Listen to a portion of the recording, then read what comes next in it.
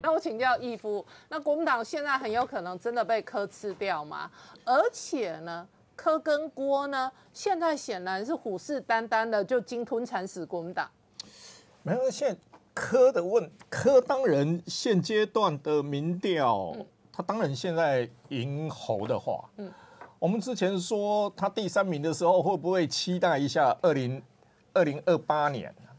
但我觉得科现阶段是直接要抢进二零二四年了，已经已经已经不是二零二八年的问题啊，对，他直接是抢进二零二四年了啊。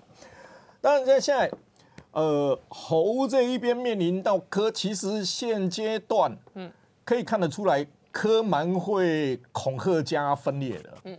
这边跑去大安这边跟你欧阳龙碰一碰，对，那边跟你说谁要丢中二，嗯，那边跟你说谁可能去哪边，他就引起了国民党小鸡的慌张嘛，嗯，那小鸡的慌张以后就希望你不要来嘛，那我希望你支持，我希望你的支持嘛，那这一个问题它就有选票移动的空间嘛，就蓝营里面选票移动的空间嘛，哦，那你移动空间以后，你就发现。其实柯文哲想现阶段他吃不下国民党，他现阶段是想分裂国民党，嗯，分裂国民党，让国民党有一些票过来，产生弃保效应嘛。那当然年轻选票柯文哲无人能敌呀，嗯，如果蓝营的票板块移动的过程过来的话，那对赖清德就是极具威胁性嘛，嗯，所以现阶段我觉得柯文哲的策略。现在在一直在放话说那个要提名，到最后会怎么提？大家再来看了。我我觉得他未必会采取全面提名的。嗯嗯，因为我不全面提名，我跟有些选区小鸡要找我嘛，那我才有分裂国民党让选票板块移动的机会嘛。所以他的最大策略一定是分裂国民党，用立委恐吓，用那种小鸡恐吓小鸡。嗯，所以呃，柯文哲到最后。他的第二恐吓要造成蓝营产生一个弃保的效应。那郭台铭哦，我觉得郭台铭跟侯友谊哦，国民党的本盘怎么跌，是一个大跌，一个怎么跌？我觉得他们两个人都会跌，只是谁跌的比较凶的问题而已。哦，因为你很清楚一件事，毕竟还是侯友谊跌的这么凶，有没有跌破很多这个国民党级的眼镜？像我都在网络的这个频道跟呃节目上面看到哦，这个全台第一猴粉哦，这个沈富雄崩溃，对不对？那陈辉虎你快要崩了。其实他就是一个，所以有没有跌的比市场跟这个兰陵预期的还要快？预期的快，嗯，快，我觉得是预期的跌的多吧。好，就说怎么会跌的这么惨啊？哦，那个快慢的问题就是说。其实侯友谊某种程度上，他跌到一个程度，比如说十八趴、十几趴就停在那边了啦。因为国民党不会说像说什么五趴，你要五趴换算起来一百万都没不到哎。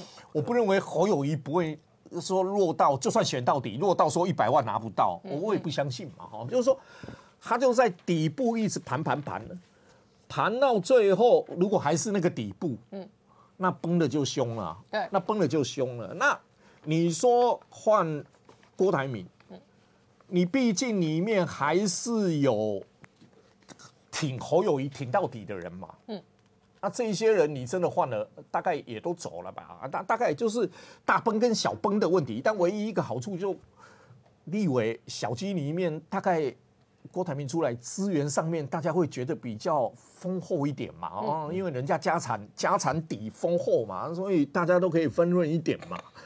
除了此外，我觉得这两个人目前为止想要在国民党里面说重振国民党，在二零二四年可以拿下总统，我我觉得基本上困难度都太高了啦哈。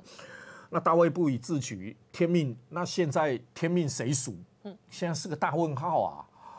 啊，也不是侯友谊他们认民认定的天命所属啊，因为你民调低到这个样子，谈天命就有一点好笑了啊。因为民主社会里面的选举靠投票投出来的，那国民党最简单就是二零二二年就是从喜剧，然后在提名过程变闹剧，然后打到现在变悲剧而已嘛。就是他一个剧嘛，他他的呃，从二零二二年到现在为止，他兼具了三种三种戏剧效果。喜剧、悲剧、呃闹剧都出来了嘛。好，那我跟你讨论悲剧哦。侯友谊，我的判断，总统大选的格局里头，他确定应该会变成悲剧人物。但是我要讨论的是立委，就是立委要陪葬多少？悲剧的这一个惨烈，通常哦 都是有很多陪葬丫鬟、陪葬小鸡耶。你看好，呃，二零一六年，嗯，二零一六年的时候，国民党从六十四席跌到三十五席。对。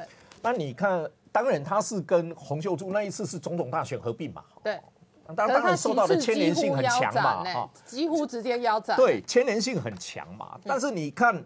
如果你回到看二零二一年的时候，那二零零零年的时候就宋楚瑜连战的选举，但你回到二零二一年去看的时候，哎，拜托，他也几乎是腰斩了一百二十三席，掉到六十八席，耶。对，他也被腰斩呢，接近于腰斩呢，所以他历经了一次总统选举的惨败，连战第三，嗯，你就看到了立委席是接近于腰板。二零一六年总统跟立委选举，你看到总统的状况非常不好，立委也激近于腰斩，接近于腰斩。那这次也要腰斩吗？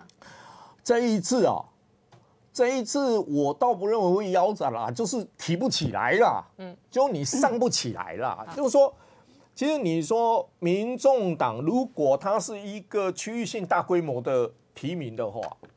它某种程度上，国民党的小鸡是最紧张的嘛？如果拖垮了民进党的小鸡，那得利的一定是民进党嘛？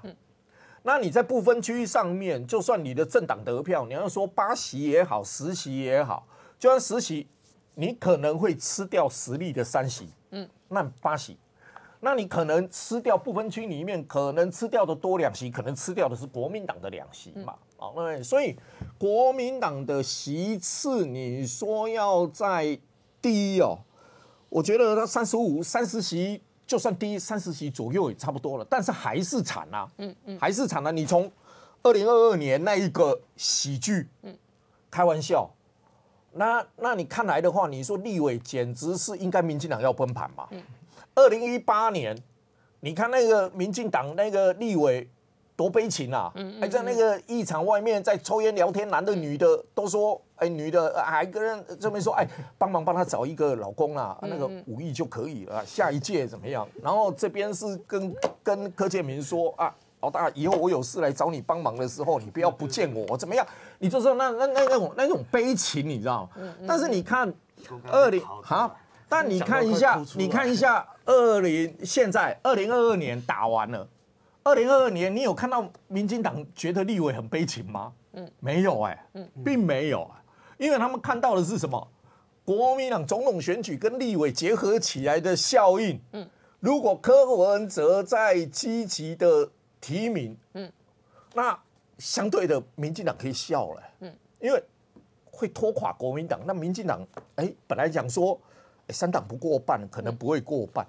那如果柯文哲积极提名的时候，哎，民进党过半机会又提高了。嗯，那民进党过半机会提高，然后你又不分区又吃了国民党的一块的话，嗯，那国民党三十五席保得住，我觉得要保得住，可能三十席上下左右都还不是问题啦。